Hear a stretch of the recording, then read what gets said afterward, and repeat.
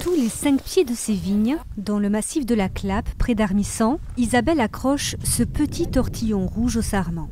C'est un diffuseur de phéromones.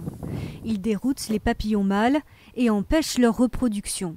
Un procédé écologique appelé la confusion sexuelle et qui protège les vignes du ver de la grappe.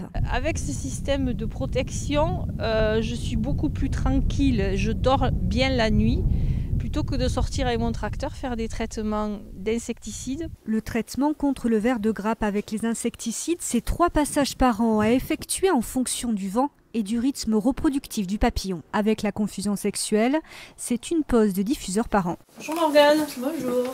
Ça va? Ouais. Alors, ce matin il calme, mais oui, je venais te voir par rapport au calendrier des. C'est Morgane, technicienne viticole à la coopérative d'Armissant, qui a aidé Isabelle à mettre en place la confusion sexuelle. 128 euros par hectare pour le procédé écologique contre 100 euros pour les pesticides. Les produits chimiques pour le traitement sont-ils alors plus avantageux?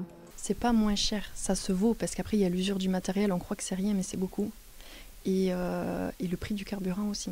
Comme Isabelle, 1200 vignerons au doigt se sont convertis au procédé et ce n'est pas un hasard. Pour attirer les populations et les touristes sur son territoire, l'Aude mise sur l'écologie. C'est un département d'avenir.